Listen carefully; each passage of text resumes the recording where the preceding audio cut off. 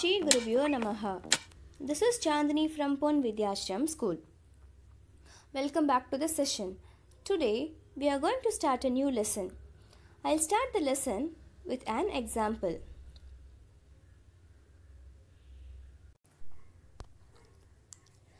If we want to prepare tea, we will add some tea leaves in boiling water and a crushed piece of ginger and then we will add sugar and milk to it.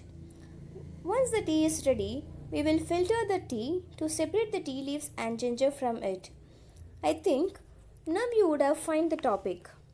Yes, our today's topic is separation of substances. In this chapter, we will study the need of separation and we will learn the principle of separation and need of pure substance and also we will study the different methods used for separation.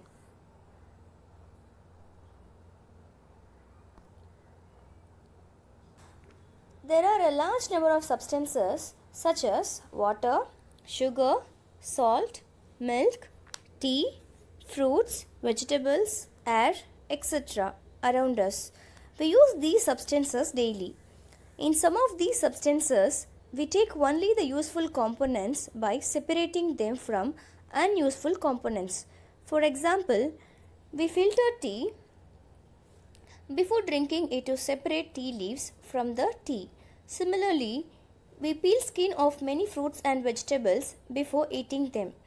We also take out butter from milk by churning the milk.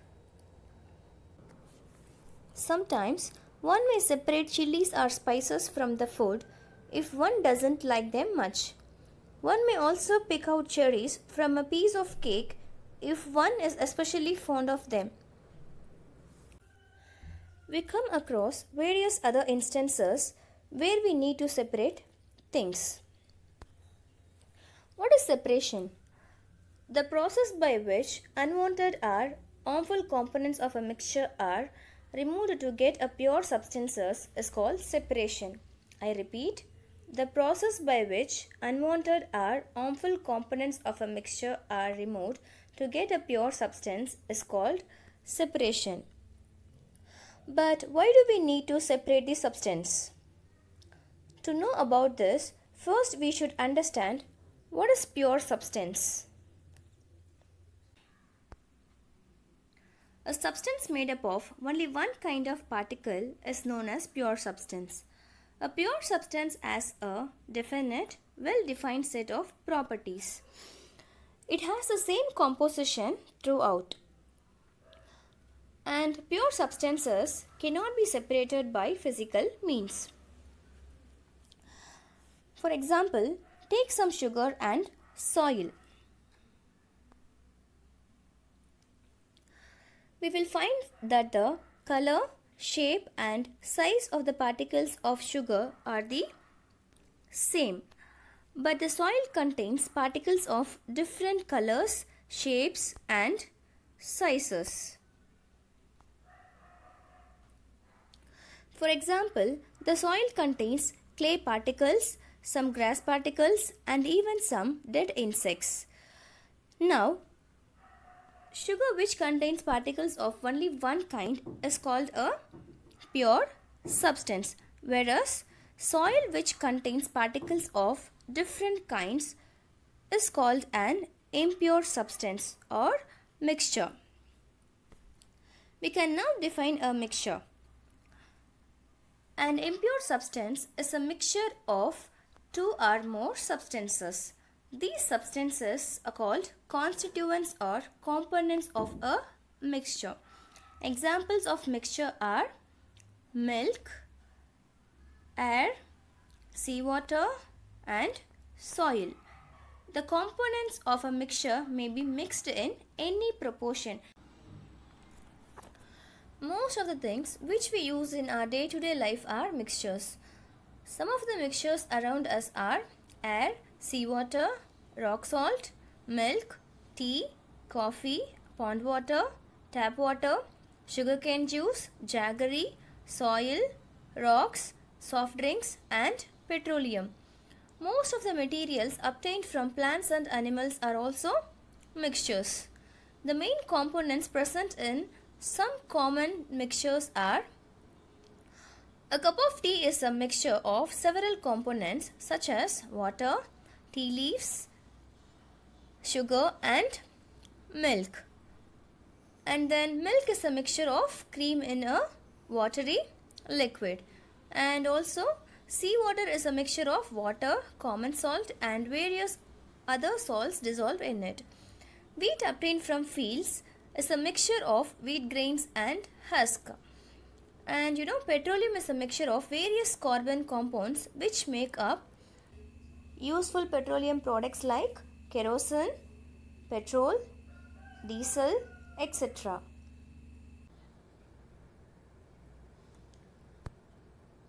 There are two types of mixtures. They are homogeneous mixture and heterogeneous mixture.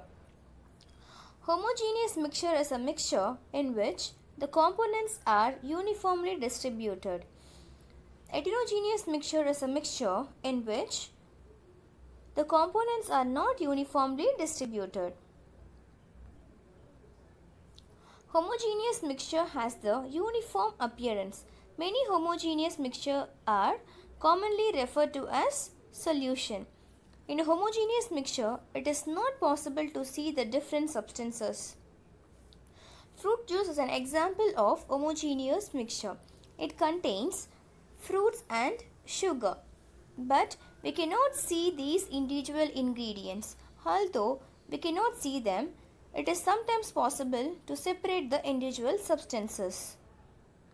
Some other examples of homogeneous mixtures are honey and milk. Heterogeneous mixture. A heterogeneous mixture is a mixture in which substances are not evenly mixed and the components can be seen easily.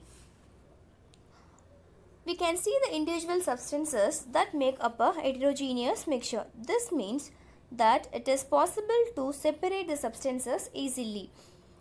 You know, fruit salad is an example of heterogeneous mixture. In fruit salad, we can see the different kinds of fruits we use. And also in soil, we can see the clay and then small insects and some other dust particles. You know, Faluda is also an example of heterogeneous mixture. In this we can see the ingredients. And pizza is also an example of heterogeneous mixture. Here we can see the vegetables like olives, capsicum, tomato and then the dough, right, etc. So these are examples of heterogeneous mixture. I hope now you understood what is a pure substance and mixture. We usually separate the components of a mixture to obtain two different but useful components and to remove non-useful components and to remove impurities or harmful components and also to group substances of different sizes. Each component of a mixture has some property unique to itself and is shared by no other components. For example, sugar dissolves in water but oil does not dissolve in water. So, sugar is a soluble substance and oil is an immiscible liquid with water.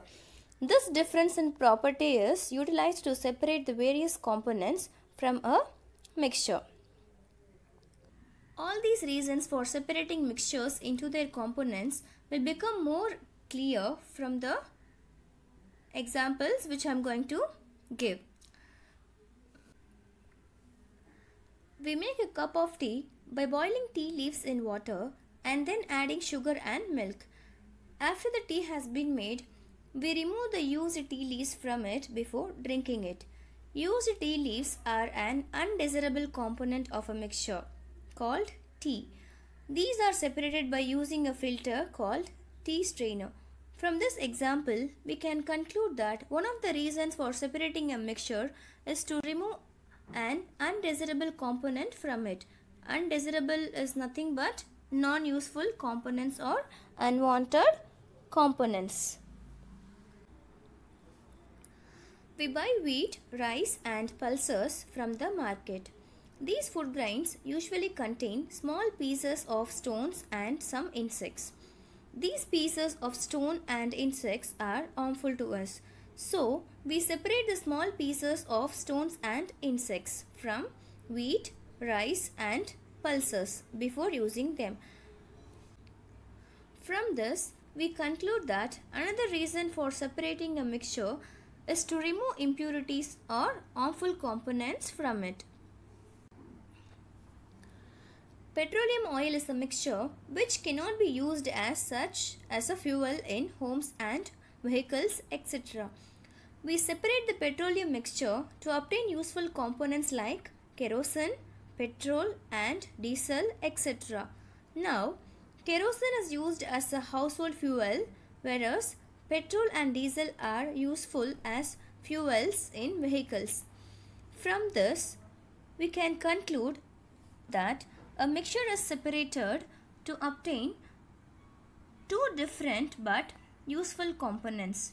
Similarly, butter is a useful component which is separated from a mixture called milk.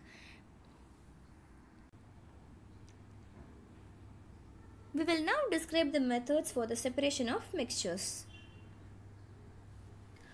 Many of the materials around us are mixtures. These mixtures have two or more than two substances mixed in them. It may not be possible to use a mixture as such in homes and in industries. We may require only one separate components of a mixture for our use.